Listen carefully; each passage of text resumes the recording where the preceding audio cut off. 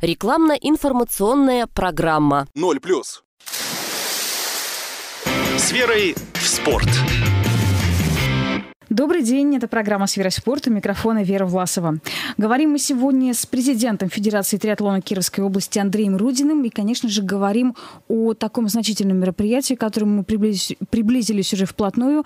Это марафон, настоящий марафон серии забегов «Вятские холмы».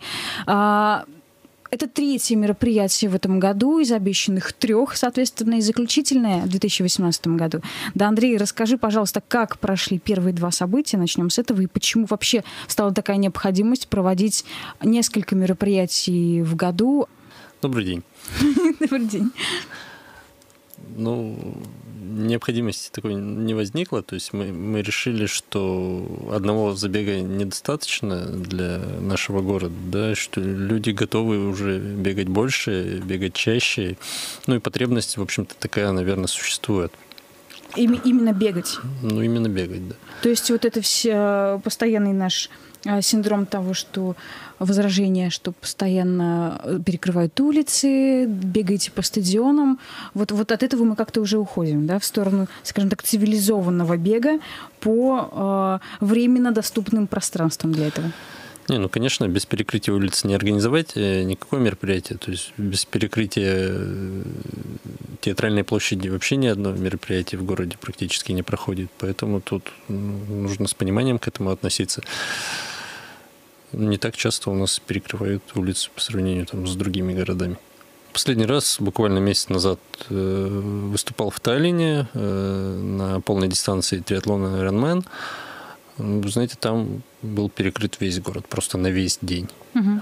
весь центр города. Мы бегали по центру города вокруг э, Ванаталин, да, это старый город.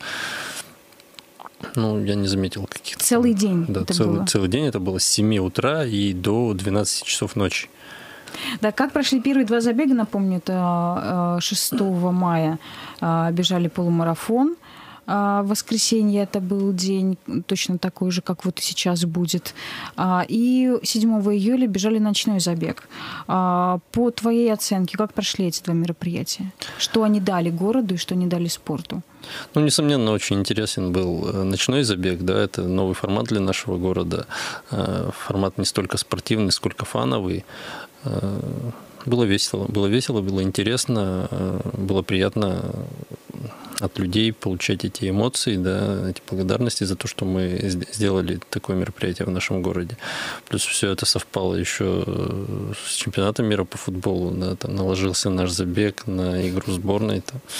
Было очень феерично. Не согласовали они с нами игру, поэтому пришлось подключать экран э, с помощью которого все могли смотреть, да, что происходит ну, да, да. на поле.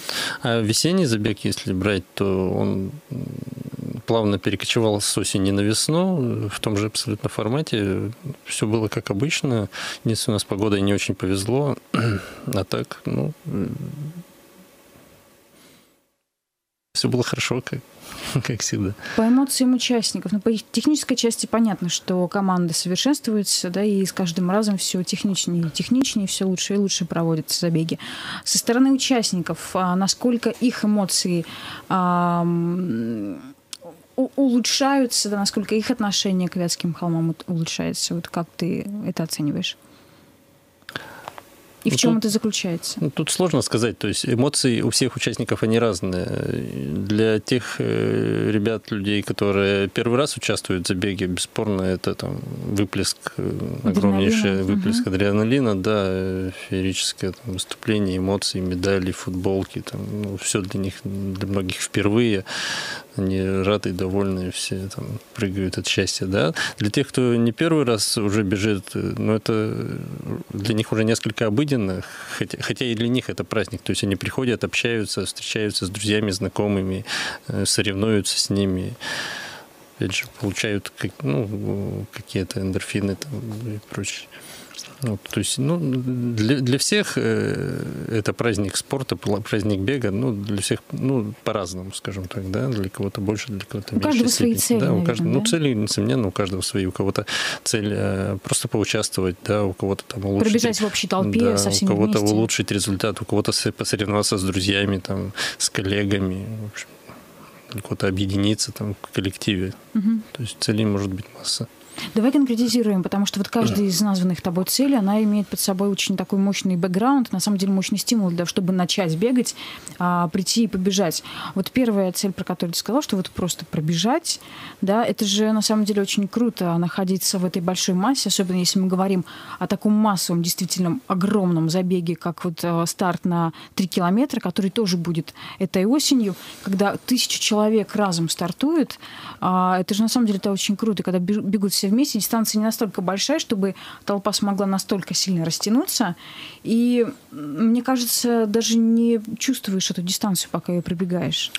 Конечно, да. Даже если ты э, никогда не бегал и вышел на старт э, такой дистанции в, в такой э, массе людей, ты, ты невольно побежишь. Да, да. Если ты даже, да, если ты даже сомневался в том, что ты добежишь или нет, да, или, или планировал, что вот я тихонечко побегу, ничего подобного, ты понесешься В как, общем как ритме. лось со всеми, да, и никуда тут не денешься. То есть вся эта общая атмосфера э, бега, вот адреналина, да, напряжения, она ну, невольно передается ну, на соседа, там, на товарища. А, да, ну буквально каждый может обратить внимание. а, в интернете очень много фотографий Советских холмов всегда вызывает удивление, как ребята, которые бегут, а, вот весной еще с погодой, да, ты сказал, не повезло, погода мерзкая, бежать далеко, долго, сложно, еще и в горку. Ну, зри- потом- зрителям скорее не повезло, участникам им вполне Ну комфортно да, было. вот, я, да. чем, я к чему веду, что вместе со всеми вот этим вот а, негативными такими вот факторами, казалось бы, негативными, у них такие довольные лица, они там позируют перед камерой в процессе бега. Откуда у них силы на это берутся, спрашивается? Вот как они могут еще это делать? Ну, вообще в дождь легче даже бежать, чем при солнце. Да, поэтому я думаю, что силы у них и остаются, и копятся, да, не расходуется энергия на, на терморегуляцию, да, скажем, скажем так. Ну, будем надеяться, что 9 числа, 9 сентября все-таки будет солнце. Да, да, будем Будет тепло. надеяться. Вот если сейчас Хотя бы раз холмы погода. должны пройти в хорошую погоду. Ну, прошлые годы вроде бы неплохая была погода. Относительно, но всегда можно и получше погода, имею в виду. Да, вторая цель, которую ты указал, это а, улучшить свое время. А, Поясни здесь, пожалуйста, как исчисляется время, потому что тот же самый забег массовый, который мы уже упоминали, а, естественно, все не могут разом после выстрела стартового перешагнуть э, стартовую черту. Как происходит фиксация времени?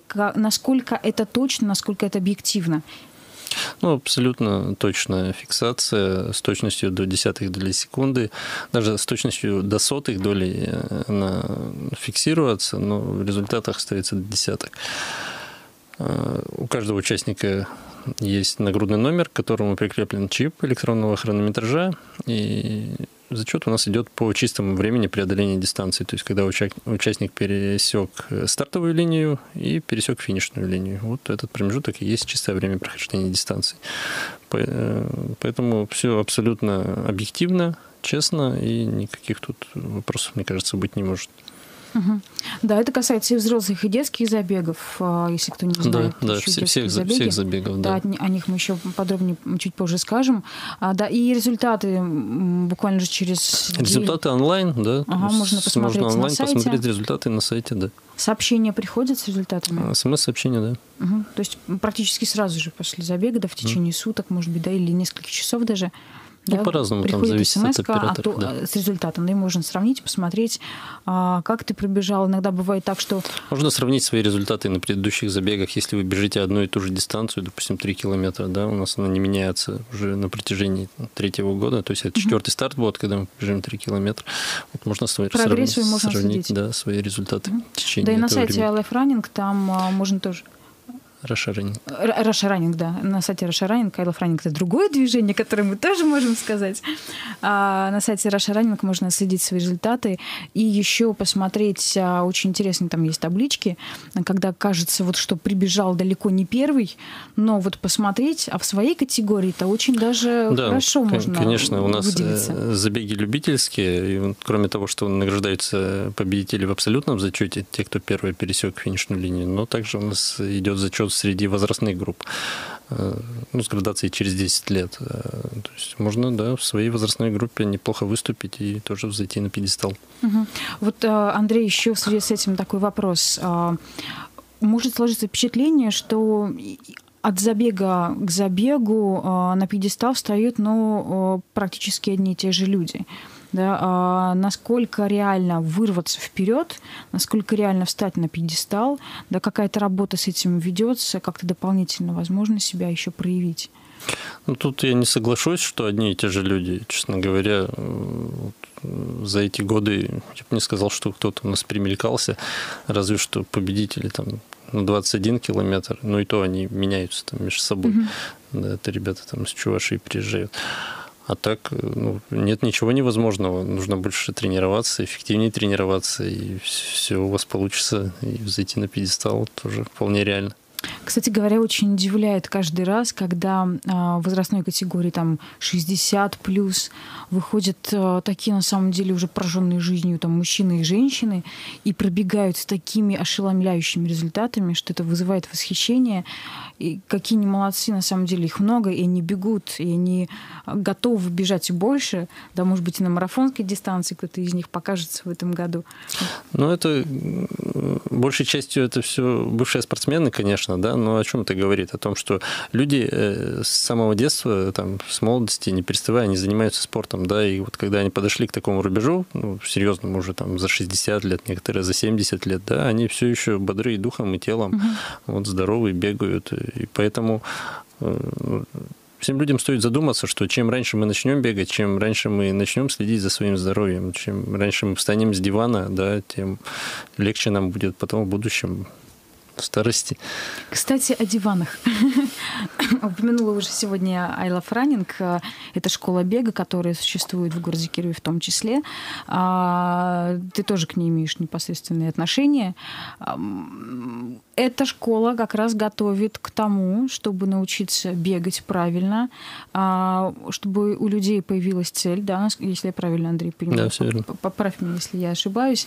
А, и это школа, которая, как мне кажется, учит получать завоевывать, отвоевывать себе как можно больше здоровья в этой жизни. Как мы понимаем, без здоровья сейчас вообще уже никуда совсем.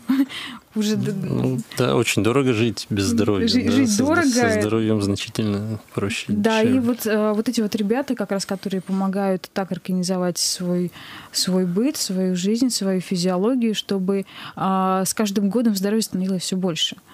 Да, а, вот в эту школу тоже можно прийти, позаниматься, подготовиться к любой, наверное, дистанции, да, можно Ну да, э, формат школы таков, что мы вместе с нашими учениками выбираем какую-то цель, они ставят для себя цель. Так, сейчас вот группа тренироваться, кто готовился к Вятским холмам, они поставили цель пробежать марафон на Вятских холмах, готовились 5 месяцев. И вот там через две недели буквально у них э, проверка на прочность. Проверка, да. Пять месяцев. Как, как они э, готовились. Да, пять месяцев готовится команда бежать марафонскую Марафон, дистанцию. Да, марафонскую 42,2 километра, да. напомню, если кто-то забыл.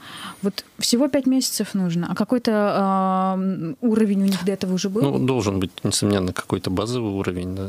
То есть не, не просто с дивана. Можно, наверное, и просто с дивана подготовиться, но... Но это не пять месяцев, да, ну, Нет, и за пять месяцев. Э, в любом, но в любом случае вы должны быть ну, физически не, не разобраны совсем. Не, не размягшие. Да, совершенно точно.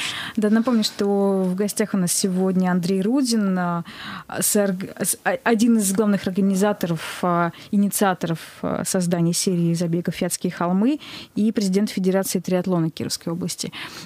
Третья цель и третья группа людей, которых ты упомянул, это те товарищи, которые стремятся пробежать в команде, а, у которых какой-то вот такой командный либо семейный дух.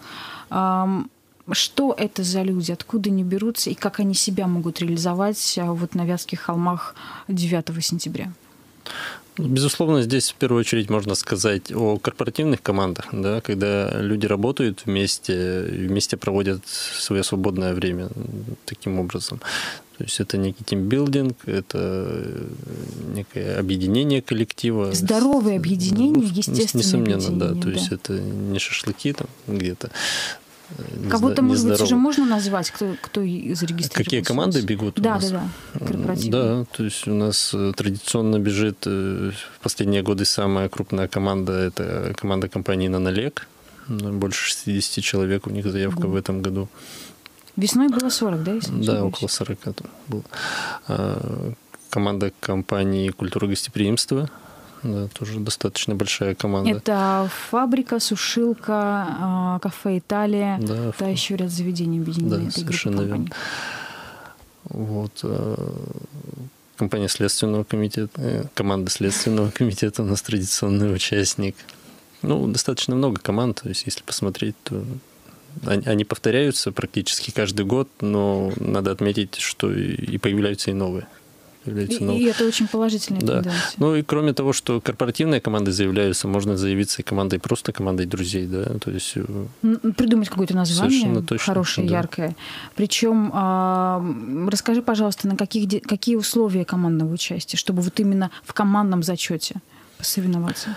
Нет, условий участия как таковых нет. Да, чтобы соревноваться, да, необходимо э, поучаствовать может каждая команда не менее пяти человек. Э, присылайте заявку и, и участвуйте. Абсолютно любые, любые дистанции. дистанции. Да. То есть можно в пятером зарегистрироваться на три километра? На три километра бежать своей командой со своими флагами либо в своих марафон. футболках, да, либо, либо в пять человек бежать марафон. Вот. Атрибуты корпоративные можно ли использовать? Да, приветствуются, приветствуются только приветствуются. Да, это очень красиво. Да, это красиво, когда команды в свои, своих э, фирменных брендованных, брендированных футболках да, бегут со своими какими-то атрибутами, флагами, еще чем-то. Но футболку Вятские холмы все равно получат. Все равно получит каждый. Каждый получит футболку Вятские холмы. В отличие, кстати, от весеннего забега, когда мы только платным категориям участникам предлагали футболки, в этот раз э, футболки получат все, в том числе числе и детские Заказали забеги. запасом. Да. Угу. Есть ли еще возможность зарегистрироваться корпоративным командам, если там еще местечко? Да, несомненно, нужно отправлять э, заявочку на электронную почту, которая указана на, нас, на нашем сайте, и в ответ вам будет выслан промокод для регистрации. Ну уж 3-10 километров там, наверное, сам Бог велел. Легко можно пробежать, поэтому призываем всех принимать участие. А, очень важный фактор, э, который мы должны, обязаны буквально сегодня осветить в этой программе, это э, то, что Вятские холмы сейчас э, активно участвуют в грантах. У многих возникает вопрос, что это такое, куда будут направлены эти средства. Вот расскажи, пожалуйста, президентский грант, да, который недавно Вятские холмы получили, что это, за что получили, что для этого было сделано и куда это все пойдет? Ну, здесь скорее не за что, а для чего. Для да. чего. Угу. То есть э, ну, за что я имею в виду, а, предыстория же была, то есть показали какую-то конкретную работу. Ну, одна из направляющих, э, составляющих, точнее, нашей деятельности в рамках этого, про... этого, этого проекта, угу. да, это является поддержка детей в детских домах Кировской области, поддержка с точки зрения развития спорта, развития легкой атлетики в этих детских домах. Вот эту цель мы озвучиваем уже на протяжении трех лет. Ну и каким-то образом мы пытаемся ее осуществлять, э, детям помогать, то есть э, вывозим их на соревнования, к ним приезжают тренеры, тренируются. И, собственно говоря, э, частично на эти цели, на то, чтобы этих детей вывозить, тренировать, одевать, обувать. В общем, и был выделен президентский грант, который мы получили в начале лета. И вот сейчас начинается его реализация. Да, Андрей, скажи просто, зачем это детям? Но опять же, ради здоровья, ради здоровья, ради общения, ради их э, лучшей социализации в будущем. Угу. То есть это именно тот навык, а, та возможность, которую они сквозь свою жизнь, сквозь всю могут принести. Это вот такие а, тренды, да, жизненные устои, цели, нормативы, которые помогут и в, при формировании характера.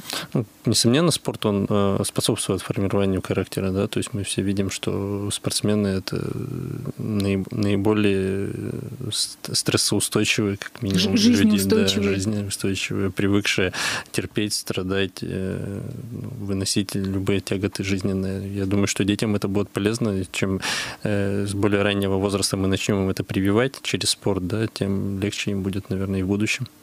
Угу. Какой возраст ребят, на которых направлена эта поддержка? Ну, вообще от 8 лет э, дети у нас участвуют, ну и буквально вот до, до конца их обучения угу. в этих детских, детских сиротских учреждениях. От 8 лет. 8 плюс будем Да, называть. примерно. А, Но это связано еще с тем, э, что мы вывозим их, будучи потом на соревнования, да, и и там есть некие категории возрастные, которые участвуют в этих соревнованиях. То есть совсем малыши там не получается участвовать. Уже определено, Хотя что э, это будет детей из детских Мгм. домов и, и маленьких мы тренируем и готовим, да, ну и будем тренировать и готовить. Да, ну и, соответственно, тоже на Вятские холмы м, Да, смогут приехать. да, вот, да, как раз вот об этом еще отдельно давай скажем. А, Ребята из детских домов, из домов-интернатов Кировской области а, приедут на Вятские холмы. Да. Они приедут из всех учреждений, да, Ну, ныне существующих. Нет, ну не совсем из всех, то есть там э, у нас не, не коррекционные учреждения, Мгм. да, то есть, э, То есть где, мы имеем где- виду- где ребята без э, каких-то физических ограничений.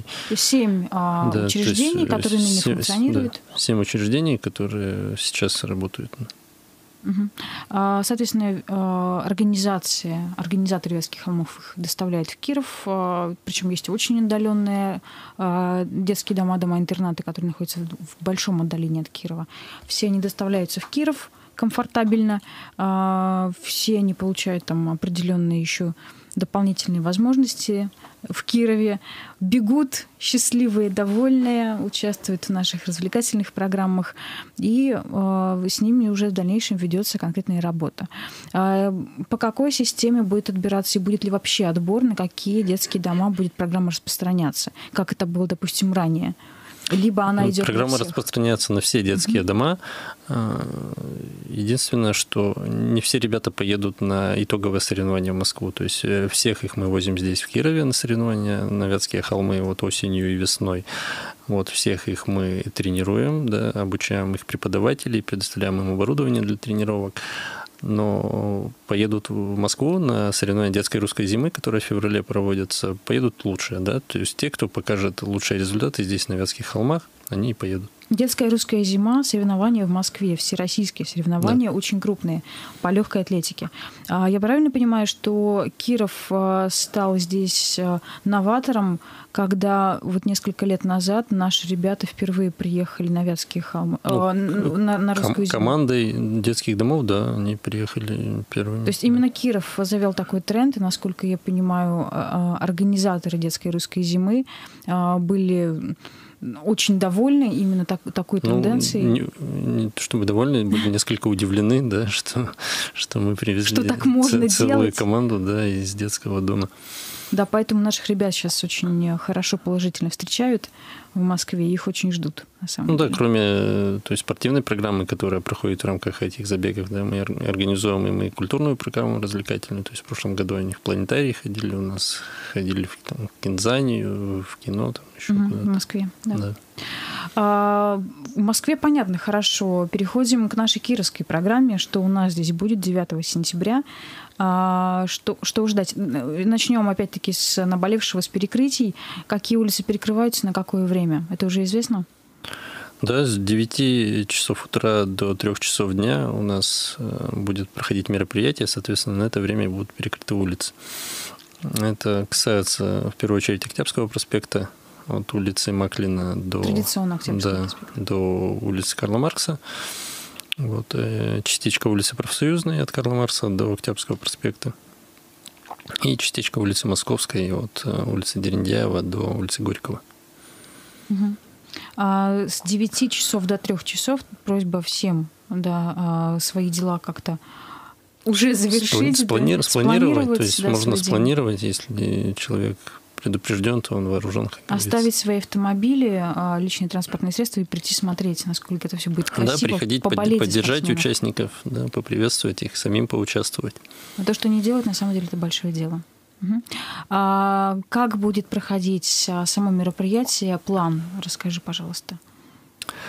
Несколько другой у нас порядок старта в этом году, этой осенью точнее. Да, если раньше у нас все было по порядку, там дистанции шли по возрастанию, то сейчас э, первыми у нас стартуют э, в 9 часов 30 минут участники э, забега на 3 километра, Затем в 10 часов стартуют участники, одновременно стартуют участники забегов на 10, 21, 42 километра. Кто-то бежит один круг, кто-то два, кто-то четыре. Вот. А, практически сразу после их старта будут э, проведены детские забеги на 300 и 600 метров. Вот, и потом начнется у нас уже постепенно финиш. Сначала десятка, 21, потом 42 километра. Вот э, все это время будет э, на театральной площади культурная программа, то есть будут выступать музыкальные коллективы, будут несколько зон активности традиционных, таких как там зона ГТО, э, детская зона, где будут детские мастер-классы, детская анимация. Вот, будут представлены на экспо наши партнеры со, со своими продуктами. Э, будет презентация автомобилей, автомобили «Лада», насколько я помню, да, автосалон «Лада» на производственной представляет. Ну, вот в общих чертах. Есть ли еще возможность партнерам подключиться? Да, конечно. Конечно, пока забег не начался, возможность подключиться есть. За пять минут до забега тоже еще можно да, принять участие, если в экспо, конечно, место останется. На самом деле большая проходимость, очень большая аудитория зрителей, действительно а, влюбленных в спорт зрителей, так что на этом можно очень хорошо сыграть. На всякий случай так вот заявляю. Ну, да. а детская площадка тоже планируется, да, насколько я понимаю, что и детям да, там. Да, традиционно будет детская площадка, будут э, надувные батуты, то есть будет чем заняться, кроме того, что побегать. Угу. То есть можно и побегать, можно и там, кто постарше нормы ГТО сдавать, кто помладше может там какие-то мастер-классы посетить. Будет чем заняться всем, буквально любой, любой аудитории, любой категории населения, так что всех приглашаем посетить Вятские холмы 9 сентября. А слышала я краем уха, что э, ведутся сейчас переговоры с э, какой-то спортивной знаменитостью. Вот так вот мы немножечко флеры придадим. Да, переговоры ведутся, да. Переговоры ведутся, так что я думаю, что надеемся. Да, возможно, кто-то из звезд э, российского спорта и приедет к нам поддержать нас и пробежать. Да, возможно. Так что следите за новостями. Очень может быть, что в скором времени мы заявим о приближении звезды спортивной к нашему городу, вплотную, вплотную, вплотную приблизится кто-то. Поживем, увидим, очень надеемся. А, во всяком случае, подобные массовые спортивные мероприятия, и вполне естественно, что привлекают не только звезд всероссийского масштаба, но и наших кировских известных людей, которые так же, как и всегда, да, так же, как из года в год, побегут в том числе. Поэтому на это тоже можно посмотреть. Ну, да. Да, да, да. На это тоже можно посмотреть. Это довольно-таки увлекательное, интересное зрелище. А, осталось несколько минут у нас, Андрей. Расскажи, пожалуйста, после этого глобального, на самом деле, мероприятия, как проведение марафона, впервые за сколько лет мы проводим его? Нет, ну марафон проводится каждый год, э, просто в самом городе. В центре Кирова. Да, в самом угу. городе. В Кирове последний раз там лет 15 назад был. 15 лет? Да, примерно. Перерывчик никто там небольшой? Точ, точно никто не может вспомнить, правда, когда это было последний Стар... раз. Если сторожил уже даже не помню, тогда уж что уж говорить пора. Время настало, город готов к этому. А, что дальше? Ну, еще один моментик давайте, Вера, вспомним, э, напомним, точнее, нашим участникам о том, что по результатам этих забегов мы разыграем э, путевку, традиционно на разыграем путевку на марафон, либо на полумарафон. Да, в этот раз это будет Мюнхен. Э, мы разыграем ее среди участников э, всех трех забегов в этом году. То есть для тех, кто участвовал весной, летом в ночной вятке и вот осенью будут участвовать среди этих людей, мы разыграем путевку на Мюнхенский марафон. Там есть возможность пробежать 10, 21 или 42 километра. Угу. То есть все те, кто нас сейчас слышит, кто бежал и весной, и летом, а, срочно регистрируйтесь. Шанс есть. А, конкуренция, конечно, будет, но могла бы быть и побольше. в следующем году я уверена, что она будет значительно больше, когда все люди поймут, на самом деле, что они могут получить.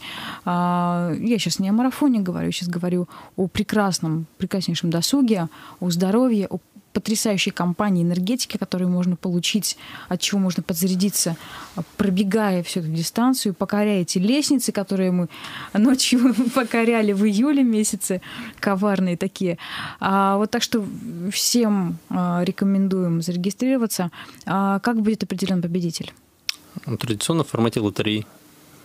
То есть вытягиванием. Вытягиванием, да, номера ну, там из еще барабана. условие, да, было вот раньше, что этот победитель должен находиться на территории Театральной площади. Как будет в этом году проходить? Ну, я думаю, что мы так же сделаем. То есть и просьба не расходиться после того, да, как пробежите. Да. Главное, чтобы это было до а, точнее, уже после финиша 42,2, чтобы Все человек уже успел добежать. А, про Мюнхен еще давай расскажем, что в себя включает эта поездка, а, что будет оплачено организаторами. Будет оплачен сам перелет, Мюнхен, проживание в Мюнхене и стартовый слот, ну, стартовый номер на Мюнхенский марафон. Так, если Хочу, хочу добавить, что человек поедет не один, потому что в школе бега Элфранинг уже готовится группа на Мюнхенский марафон. Там 6, 6 человек уже точно туда поедут, поэтому компания подбирается вполне себе интересно. Да, и если есть какие-то опасения, мало ли страхи, что я не смогу, вот опять-таки, о чем Андрей говорил в начале программы, в едином порыве пробежишь и не заметишь. Но это не обязательно должен быть марафон, да. То есть там Да, да. есть и полумарафон, и 10 километров, так что на любую дистанцию, на какую победитель будет готов. Но в Мюнхене можно и 42 замахнуться. Уже терять нечего, да, как говорится. А победителя мы узнаем 9 сентября, того человека, который поедет. А, Естественно, его имя тоже будет везде опубликовано, будет звучать отовсюду. А, И это на самом деле очень, очень крутая возможность. Все ли мы успели сказать про 9 сентября? Еще раз упомянем, где можно зарегистрироваться, каким образом можно зарегистрироваться. Зарегистрироваться можно э, либо на сайте вятскиехолмы.рф, либо на сайте э, ну, всероссийской площадки э, беговых событий, это russiarunning.com. Мгм. Ну и все новости о Вятских холмах тоже можно на, в интернете В найти интернете, на да, нашем сайте, в на нашем сайте в или в группах в социальных сетях. О дальнейших мероприятиях есть ли уже какое-то понимание, как дальше будут Вятские холмы развиваться? Примерно в том же ключе, что и в этом году. Э, В следующий год мы планируем построить. Единственное, э, возможно, мы сделаем несколько забегов э, в районах Кировской области. То есть расширим географию, э, расширим количество забегов. Они будут не такими протяженными, то есть это не марафон, не полумарафон, скорее всего, это будут дистанции 10 километров. Это будет пересеченная местность или это Нет, трасса? нет, то есть это не трейловые, мы проводим не трейловые забеги, мы проводим именно асфаль- асфальтовые забеги. Мгм. Так что на этом, наверное, можно уже и завершить да, наши глобальные планы. Так что 9 числа берем с собой кроссовки, берем с собой э, какую, какая есть спортивную форму, а, предварительно забрав чипы с номерами. А когда можно будет 8 да, получается, забрать, получить экипировку? Ну Да, следите за пакет. сообщениями в наших информационных ресурсах, в социальных сетях. Мы сообщим, где, когда, во сколько можно будет собрать эти ста- стартовые пакеты, Мгм. футболки, э, футболки и номера. Не забываем медицинские справки еще. Обязательно, да. Допуск на соревнования по медицинской справке установленного образца. Мгм. Ну что, всем тогда успехов, а, прекрасного прекрасной пробежки, хорошей погоды, самое главное, энергии, да, и чтобы Вятские холмы стал на самом деле настоящим нашим вятским брендом. А, И сейчас, в принципе, это название звучит по всей России, а то и даже за ее пределами. А, Многие очень знают по всей России об этом а, забеге. Из разных городов приезжают к нам в Киров, чтобы пробежать Вятские холмы, поучаствовать в этом празднике. Всех призываем 9 сентября. Регистри- Регистрироваться можно уже сейчас, пока еще места есть. Андрей, спасибо большое. Сегодня говорили мы о Вятских холмах, забеге. А В гостях был организатор серии забегов «Вятские холмы», президент Федерации триатлона Кировской области Андрей Рузин. Спасибо, Андрей. Успехов. Спасибо, Вера. Увидимся 9 сентября. Увидимся 9 сентября. С верой в спорт.